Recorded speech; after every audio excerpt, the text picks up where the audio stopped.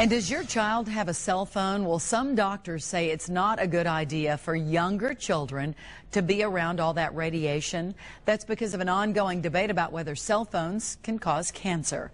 The wireless industry says cell phones are safe, but two cancer prevention specialists, they're urging caution. It's next to impossible to take the cell phone away from your child, but here's a few things you need to know that could protect them from any excess radiation.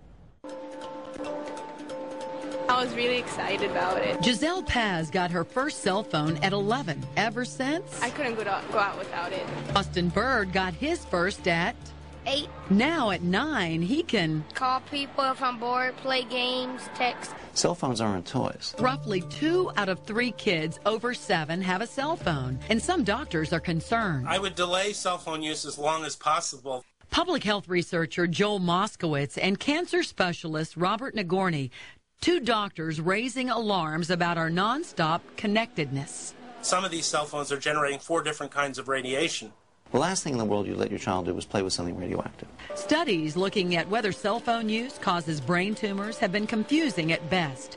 While some brain tumor patients and their doctors feel certain their phones are to blame, many cell phone users say they're not convinced. I kind of believe it, but at the same time I don't because like everyone uses cell phones. There's a lot of things they say what's good, what's not good, so I just need proof. That's all. Causation, causality is the most difficult thing in science. Dr. Nagourney says the reason it's so hard to prove a link between cell phones and cancer is that tumors can take decades to develop. Cancers require what's called a latency a period of time during which the exposure leads to the disease. It took doctors 40 years to prove cigarettes are dangerous. I mean, something that you would consider intuitively obvious, cigarettes, lung cancer, took decades because the cause and effect are very hard to establish. So Dr. Nagourney tells his patients when it comes to wireless, it is proven to be true you'd rather be safe than sorry. To keep your phone and ditch the risks, doctors recommend some simple precautions. One is don't keep the cell phone in your pocket. As long as the phone is turned on, it's constantly transmitting microwave energy in your pocket. Well, that's closely opposed to the to the uh, male reproductive organs and quite closely opposed to the female reproductive organs.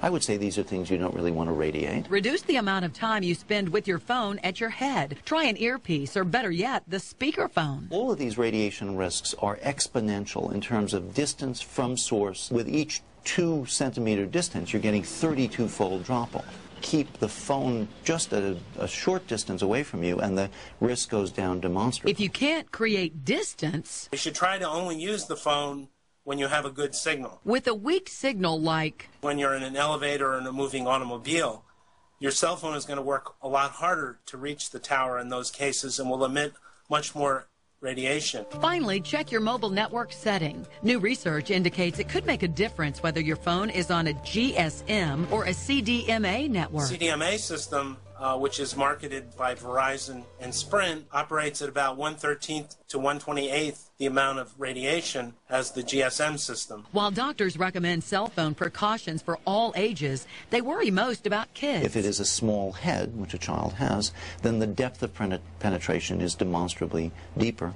Plus, there is reason to believe that the bone marrow of the growing skull may also be more resonant with these frequencies. But Dr. Nagourney acknowledges problems accumulated from early exposure might not show up until children grow up and are in their 40s. For lots of kids and their parents, today's threats are what matter most. Safety on the street, anything can happen, and I just want him always to be accessible. We're not saying that people should stop speaking on the phone. All we're saying is if there is a risk here, and you can modify your risk by doing simple things, I think that there's good reason to try to do those things. Both doctors also recommend keeping your phone turned off, as they said, when you carry it anywhere on your body until you need it.